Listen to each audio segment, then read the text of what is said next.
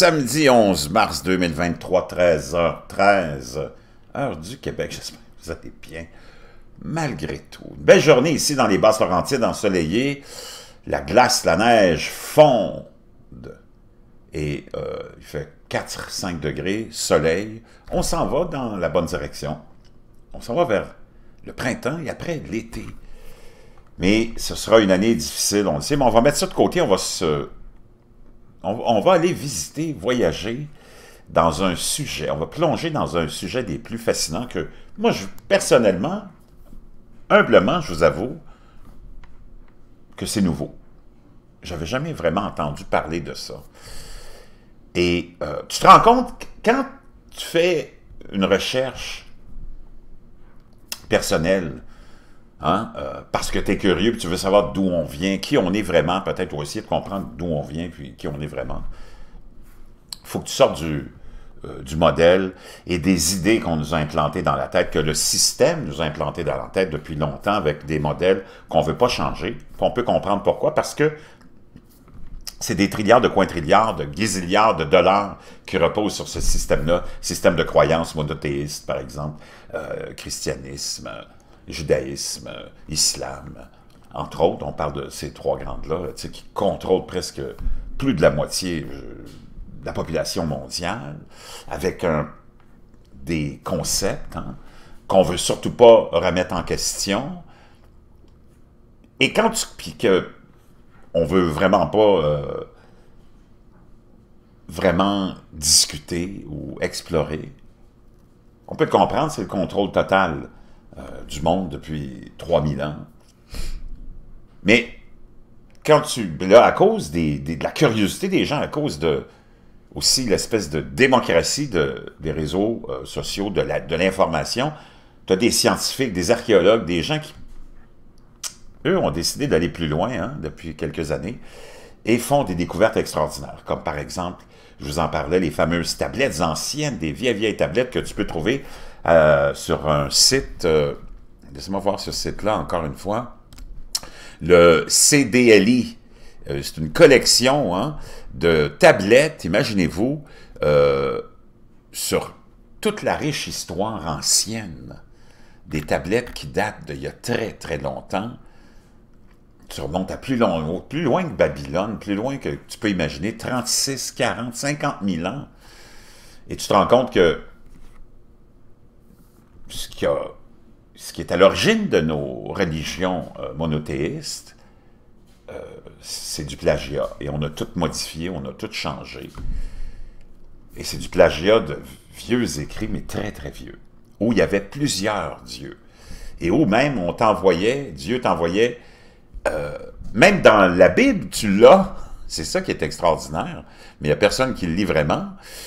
Dans le livre de Deutéronome, on te le dit, il y a plusieurs dieux, et c'est ce Dieu qu'on a essayé de créer, monothéiste, qui t'envoie, ou qui a envoyé les gens, se battre euh, contre ces euh, différents dieux. C'est complètement hallucinant. Et euh, tout est là, mais il n'y a personne apparemment qui lit vraiment, vraiment, vraiment ça. et c'est de la guerre, c'est de la guerre, c'est du sang, c'est complètement, complètement euh, hallucinant. Je te donne juste quelques exemples. 17. Euh, détruis-les complètement, les Hittites, les Amorites, les Cananéens, les Périzites, les Hivites et les Jébusiens, comme l'Éternel ton Dieu te l'a ordonné. Sinon, ils vous apprendront à suivre toutes les choses détestables qu'ils font en adorant leur Dieu. Donc, il y a plusieurs dieux. Et vous pécherez contre l'Éternel, votre Dieu. Comprends-tu? Donc, c'est fascinant. Et là, tu te rends compte que tout. Euh, tout est caché, dans le fond. Intentionnellement ou non, je ne sais pas, mais on ne veut pas que ça change parce qu'on a le contrôle sur la population comme ça. Sinon, c'est tout le système qui s'écroulerait, comme je veux dire. Ce serait complètement hallucinant. Il y a, il y a dans tous ces anciens écrits, il y a des références multiples références à des êtres qui descendent du ciel, des anges. Puis si tu t'en vas dans toutes les cultures, tu retrouves tous ces mêmes récits. Prends les récits du déluge ou de déluge, il y en a plein, dans plein, dans toutes les civilisations que tu peux aller euh, rechercher, la plupart du temps, toutes à la même époque, et euh, toutes les mêmes anges, les, sont appelés différemment, euh, que ce soit chez les Égyptiens, euh, que ce soit chez les Babyloniens ou d'autres civilisations, ils sont appelés différemment, mais ils, ils, font toute référence à des êtres qui sont descendus du ciel. Dans les écrits, on parle, bon, on dit, euh, qui sont descendus sur, euh, des, dans des vaisseaux. Ils, ils ont amené des... Ils leur ont appris à se battre, appris à faire plein de choses, appris à faire de la bière. Et quand tu regardes aujourd'hui toute la technologie tu as aussi, euh, c'est pas des... c'est pas des... C'est pas une espèce qui est descendue du singe, puis qui a évolué, qui nous a amené à ce qu'on est aujourd'hui, puis où on en est rendu. Donc, quand tu commences à rechercher ça, tu ouvres, une espèce de, boîte euh, euh, à surprise, euh, tu t'embarques dans un rabbit hole, comme on dit, puis ça, ça t'en t'enlèves une couche, puis t'en trouves une autre, puis t'en trouves une autre, puis t'en trouves une autre, et t'en trouves une autre. Des civilisations avancées, des civilisations évoluées, très évoluées, que tu remontes à l'Atlante, dont il a question dans plusieurs civilisations aussi, où on fait référence à ça, c'est complètement affolant. Donc, chacun fait ses recherches. C'est pas le système, c'est pas les médias traditionnels, c'est pas tes élus, c'est pas tes responsables puis tes dirigeants des religions, des grandes religions qui vont t'amener ces informations-là. Ça serait leur auto-destruction, comprends-tu? Mais les autres, ils connaissent toutes ces histoires et ces secrets. D'ailleurs, qui sont ces gens-là qui contrôlent tout ce système-là? Il y en a qui pensent, comme par exemple David Icke, que c'est d'autres races qui viennent d'ailleurs, d'un autre monde, d'une autre dimension. D'ailleurs, il y a plein de dimensions et les preuves sont là.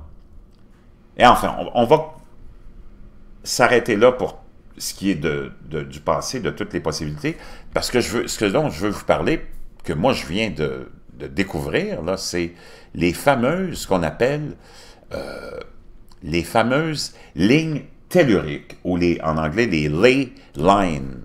Donc, comme notre corps, la Terre euh, est connectée et, euh, comment dire, est remplie de lignes telluriques qui sont des lignes énergiques. Hein?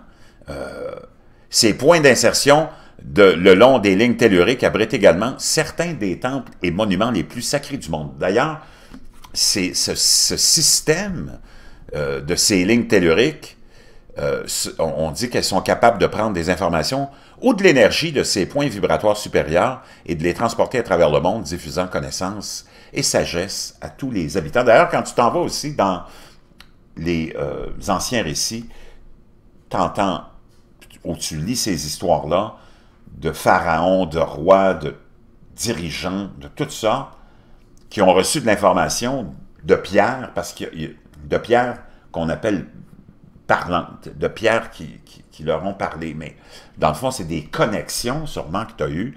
Il y a des points sur la Terre où, d'ailleurs, c'est probablement pour ça que ces dirigeants-là dirigent et dirigent depuis toujours, peut-être en, en succession, en réincarnation, je ne sais pas, parce qu'il n'y a rien qui change. Ces gens-là connaissent tous ces points, probablement, euh, de connexion. Et probablement qu'il y en a, y en a de ces points-là ou de ces connexions-là qui sont des portails aussi, des entrées pour euh, d'autres dimensions.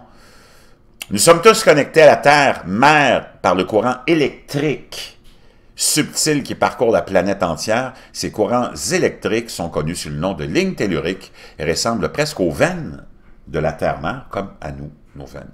Tout comme nous avons des veines qui entrent et sortent du cœur, la Terre-mère a des lignes telluriques qui sont des lignes énergiques, d'énergie, qui s'enroulent autour de la Terre de la même manière euh, qu'un brin d'ADN.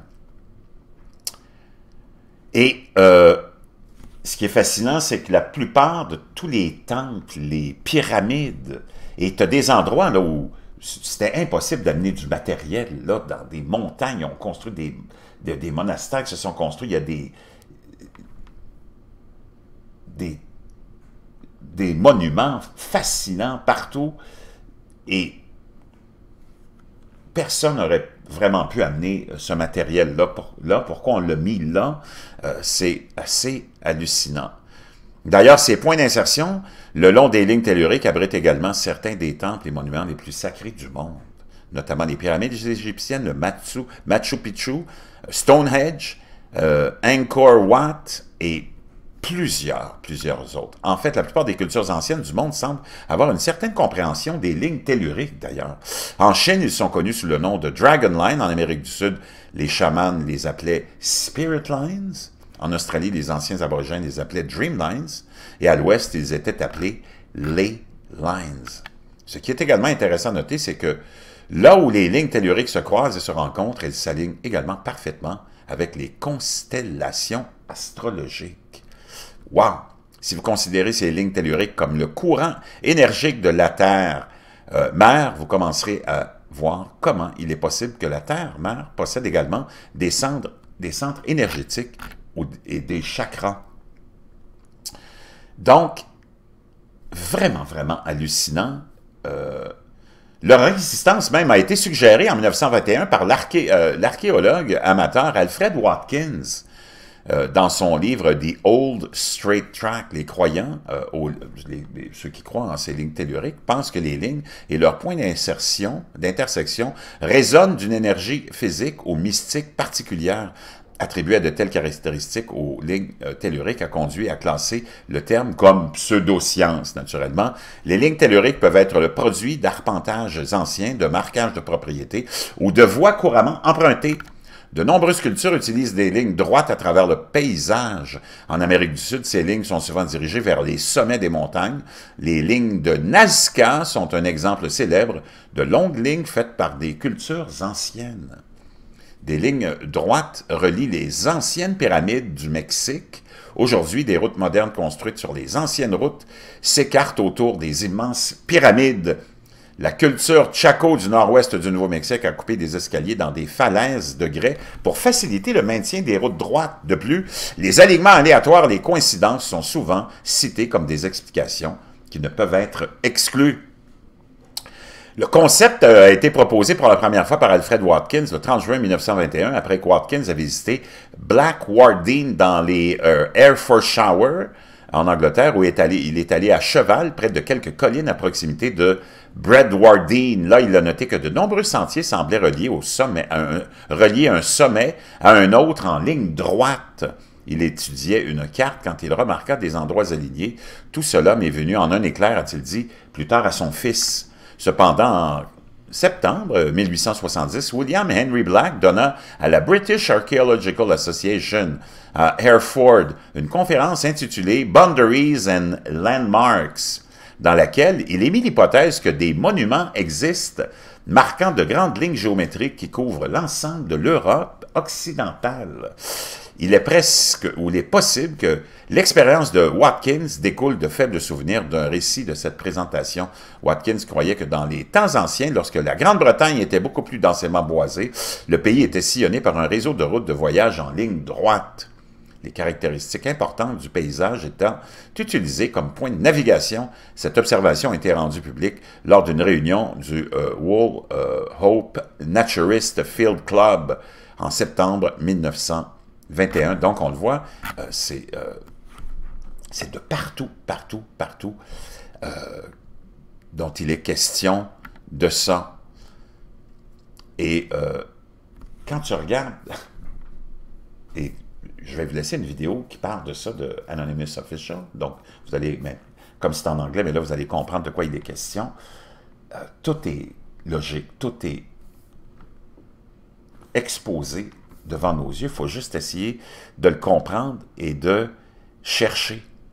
Et de continuer à chercher, de continuer à chercher, de jamais, jamais s'arrêter. D'ailleurs, je ne comprends pas que la science se soit arrêtée à ça, parce que probablement que la science est contrôlée par euh, notre système et que on ne veut pas euh, naturellement, exposer ça au grand public, ça serait l'effondrement.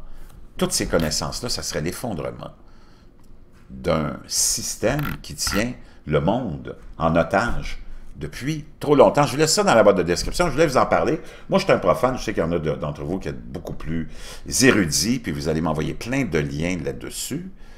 Mais c'est fascinant.